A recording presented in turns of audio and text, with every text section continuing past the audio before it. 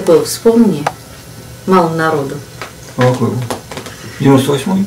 Нет, 88-й. Олежка сейчас так на тебя похож. Родственники. Более 26% молодых мужчин не хотят иметь потомство. Что это такое? Я вообще говорю, что смысл жизни мужчины – это дети, это отцовство. А это не мужчина, не знаю, предатели собственной страны. Нет детей, не будет страны.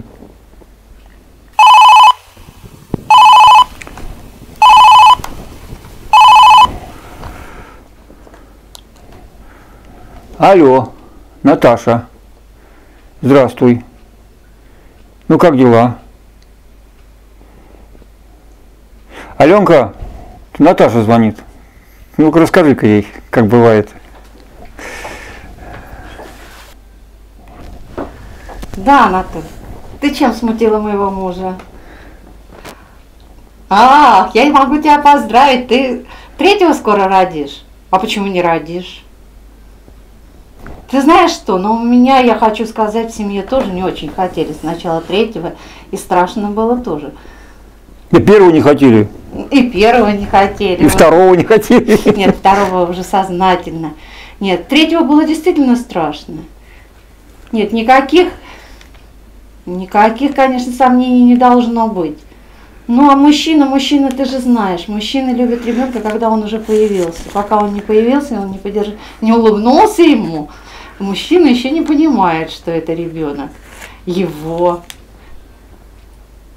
Нет, никаких нет, ну если работа, это работа. Вот представь себе, ты уйдешь на пенсию, вот, и все на твоей работе о тебе забудут, а твои дети будут рядом с тобой. Будет у тебя пять детей. Вот, вот Юрий Федорович пророчит, что у тебя пять детей будет. Знаешь что, ты приезжай к нам, да, мы рады будем тебя видеть, и я думаю, что лучше всего, если ты приедешь с мужем. И с детьми. И с детьми, естественно. Познакомились супруги Мироновы, будучи студентами технического института.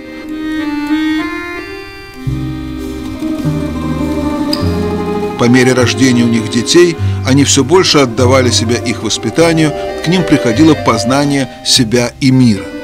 Наравне с продвижением по карьерной лестнице они становились семенинами. Приобретая опыт семейной жизни и получая дополнительное педагогическое образование, они накапливали свой потенциал любви, содержащийся в многодетной семье, где 10 детей и шестеро внуков.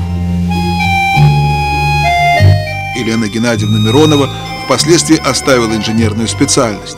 Когда возникла необходимость определять своих детей на лето, она пошла работать в детский сад, где смогла широко раскрыть себя, полностью проявить свои разносторонние возможности и свою любовь к детям и к людям. Елена Геннадьевна освоила педагогику, получила специальность психолога. Вместе с мужем активно принимала участие в работе родительских клубов. В семье применялись новые методы воспитания, а вернее возвращение к простой естественной жизни. Через 15 лет супружеской жизни Мироновы стали широко известны в педагогических кругах. И в 1983 году они вместе с пятью своими детьми поехали на Украину по приглашению Михаила Петровича Щетинина, который возглавлял эксперимент Академии педагогических наук «Школа 21 века». Юрий Федорович работал завучем по организации производительного труда учащихся, а Елена Геннадьевна – воспитателем в детском саду. Там был организован детский лагерь, что позволило в условиях совместного проживания с детьми приобрести бесценный опыт приложения передовых педагогических концепций для организации учебы, труда и досуга школьников.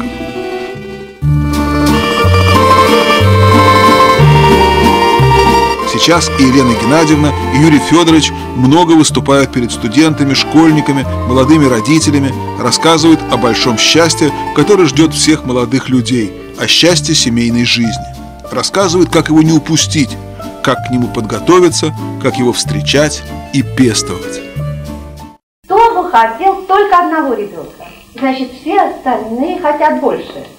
Я двоих, Видите как? Вот, молодцы. Вот мы говорим о том, что а почему не становятся многодетными. Вот тут говорят, ой, многодетными быть хорошо, ой, э, э, замечательно. Но не становится, мало кто становится многодетными.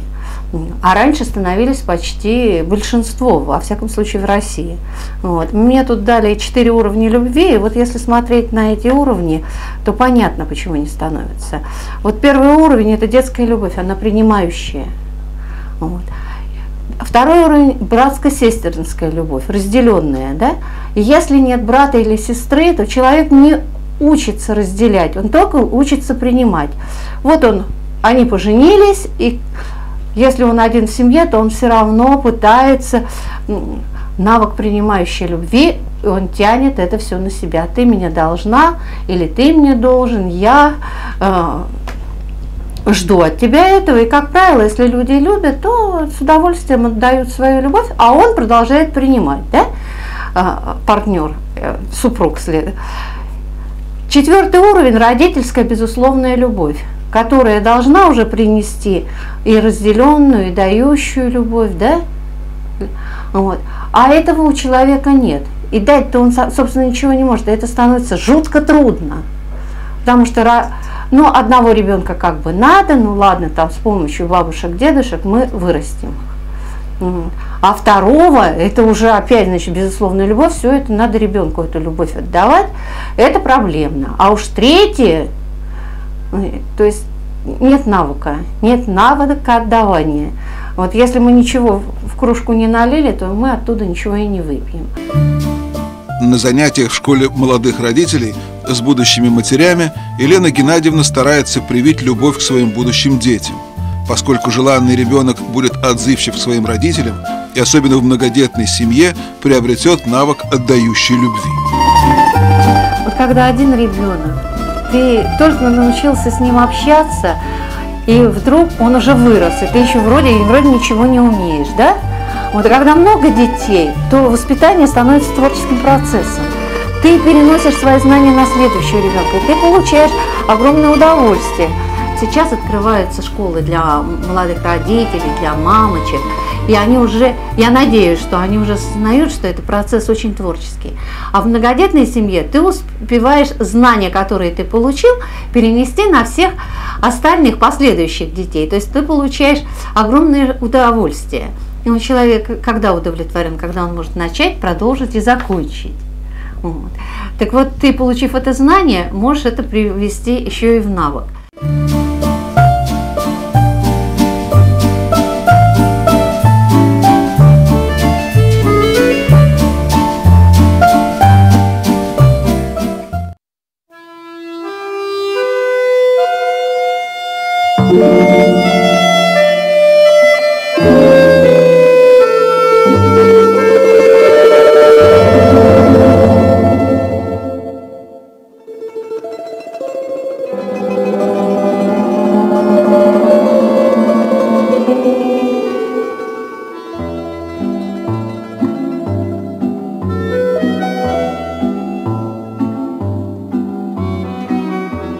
Спрашивают, ну вот вы можете сказать, в чем ценность вообще многодетной семьи?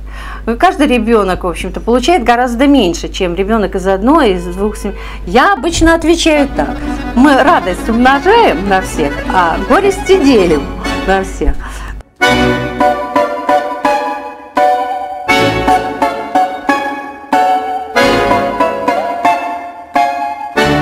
Трепетное отношение к жизненному опыту старшего поколения заставило Юрия Федоровича записывать рассказы своих родственников об их жизни, собирать памятные материалы. Это привело к осознанию необходимости вести родословную. В 2002 году им было написано методическое пособие «Пишем родословную книгу». Эта брошюра привлекла внимание общественности. И в день памяти святой мученицы Татьяны 25 января 2003 года Казанском кафедральном соборе председатель Совета ректоров вузов Санкт-Петербурга Романов и ректор Санкт-Петербургских духовных академий и семинарий епископ Тихвинский Константин вручили автору пособия почетный знак святой мученицы Татьяны, степени наставник молодежи, как занявшему первое место в конкурсе «Благодатная педагогика» среди педагогов вузов Санкт-Петербурга. Вечером, вечером, вечером, когда вам прямо скажем, будет делать нечего, вы приземлитесь за столом и вспомните о том, о сём, и напишите для потомков о былом.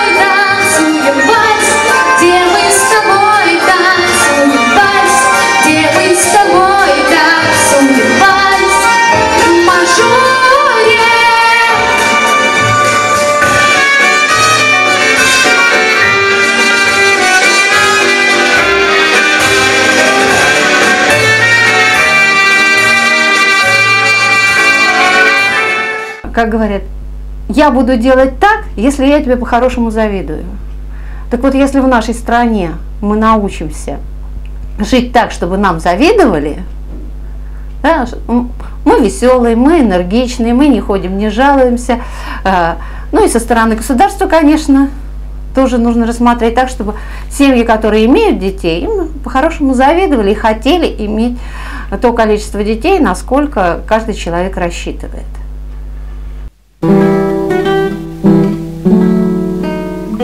Этот дар мы дарим ребенку, который живет в многодетной семье, столько много, что если человек живет вот в один семье, его просто обворовывают. Например, он, во-первых, власть, если он маленький, его ласкают старшие дети. А если он большой, то у него есть повод поухаживать, повод позаботиться и реализовать как-то себя. И мало того, ребенок, растя в большой семье, готовится к счастливой, к богатой семейной жизни.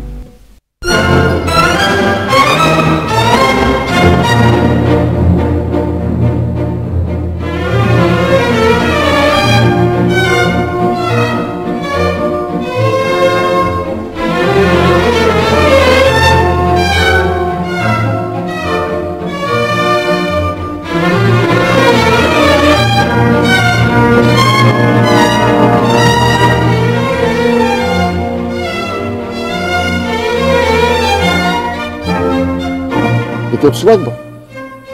Все молодые, жених, невеста или уже не муж и жена на, на банкете на свадебном.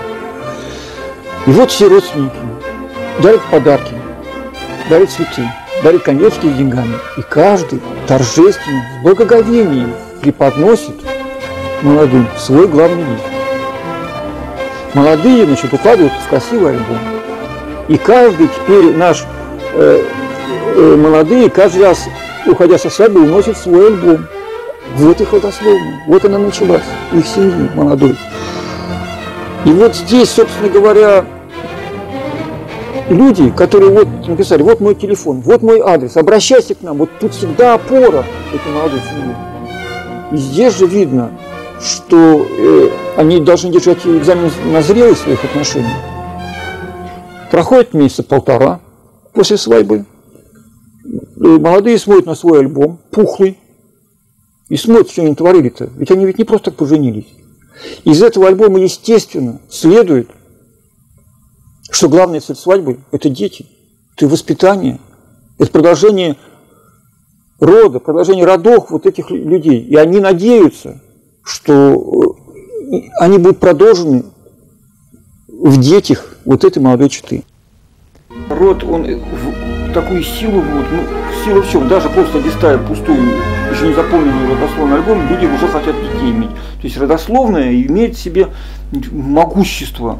И, конечно, занимаясь родословной, просто в сознании каждого отдельного человека происходит переориентация. Он начинает себя ощущать э, звеном в цепи поколений. И не хочет, чтобы она его обрывалась. Наличие в роду многодетной семьи, оно она и род весь подтягивает. Все вот э, родственники, которые раньше, значит, говорили, что вы там, значит, живете, значит, о чем думаете, сейчас начинают сами подтягиваться. То есть, оказывается, многодетная семья, она и целиком род-то весь гармонизирует и, и подтягивает до такого естественного состояния. А естественное состояние человека – это жизнь в семье. Я не знаю, как вообще можно жить по-другому. Мы собираемся на советы семьи раз в неделю. Ну, реально удается раз в две недели нам собраться. И мы обсуждаем текущие наши, так сказать, какие-то вопросы.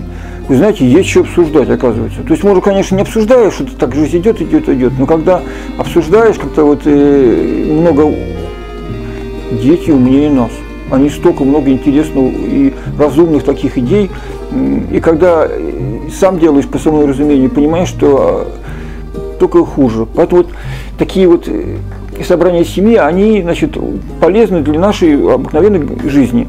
Но вот примерно через полгода регулярных таких собраний мы заметили удивительную вещь, что жизнь как-то стала гармонична, меньше стало шероховатости. То есть вот это совместные совещания в любви, в дружбе, они какую-то силу дают, силу. И видно, вот наше все поведение так распространяется на, э, вокруг нас, что вокруг все ситуации как-то сглаживаются, как-то они складываются благоприятным образом.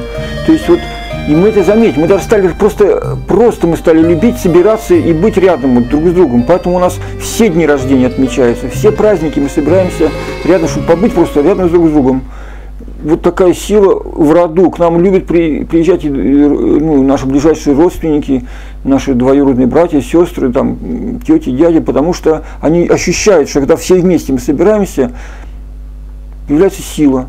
Жизнь э, ровненькая становится, какие-то разумные поступки совершаем. И вот этим мы пользуемся, и в этом мы видим наше наш источник нашей счастья и здоровья и, и силы.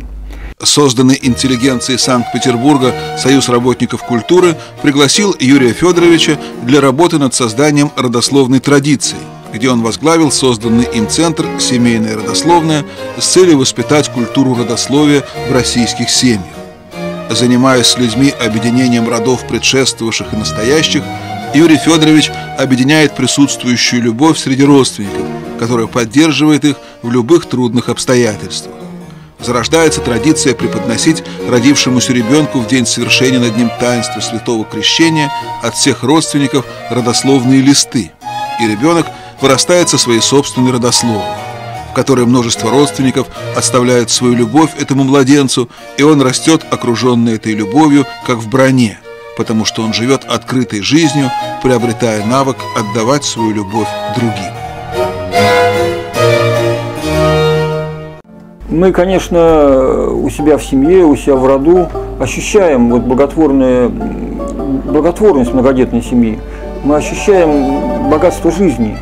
Но тут э, вдруг э, мы вылезли из собственного кокона, мы вылезли из собственной семьи, собственной рода, и сейчас э, понимаем, что многодетная семья, она единственное, что спасет Россию. У нас сейчас возникла проблема отцовства, вернее, отсутствия отцовства. Мне тут демограф один знакомый рассказал, в чем, откуда она взялась. Дело в том, что ввели совместное воспитание мальчиков и девочек в школе, совместное обучение, а девочки развиваются быстрее мальчиков и физиологически, и психологически, психически. И поэтому, ну, года на два опережают, и поэтому и девочки, и мальчики привыкли к тому, что главенствующей роли вот, девочек в школе. И так поколение за поколением. То есть отцы не воспитываются, воспитываются э, старшие сыновья при матерях. Значит, и вот для того, чтобы отцы воспитывались, значит, нужно как-то в процессе вот совместного воспитания, я ни в коем случае не ратую за раздельное воспитание в школах, потому что там много проблем своих, более глубоких нужно все этот процесс как-то демпфировать, то есть э, нужно сознательно воспитывать отцов, потому что только отцы спасут государство, только отцы обеспечат отсутствие одиноких матерей, и только отцы обеспечат большие дружные семьи. Семья – это, во-первых, отец, и в первую очередь мужчина. И, и это настолько просто и ясно, если ты христианин и читаешь просто вот эти книги, нашу Библию читаешь, Бытие, Отец, э, наш, значит, Господь создал мужчину и уже потом создал помощницу и жену. И тогда все становится на, на свои места. Мужчина должен взять на себя ответственность за семью, за род, за народ и за свое отечество.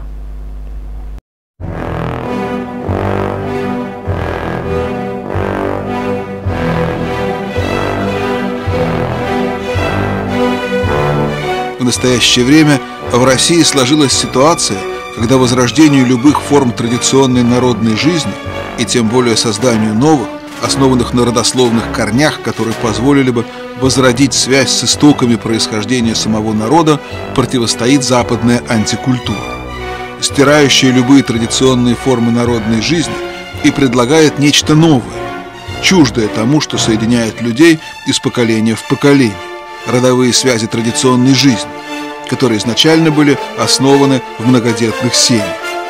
Отсутствие сегодня престижа семьи и матери в государстве привело к низкой рождаемости и критической демографической ситуации.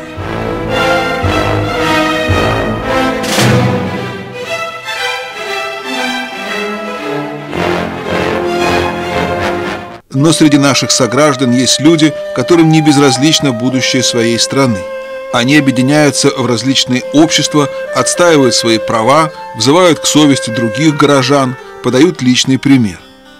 Так многодетная семья Мироновых, активно участвуя в просветительской работе по воспитанию детей и подростков, и прежде всего своим личным примером ведения семейной жизни взывает к живущей в людях памяти, заложенной из поколения в поколение и из рода в род о традиционной народной жизни. Критичность этой проблемы подтверждается активным интересом к опыту жизни таких людей со стороны телевидения, которое не раз бывало в семье Мироновых, стараясь запечатлеть уклад многодетной семьи.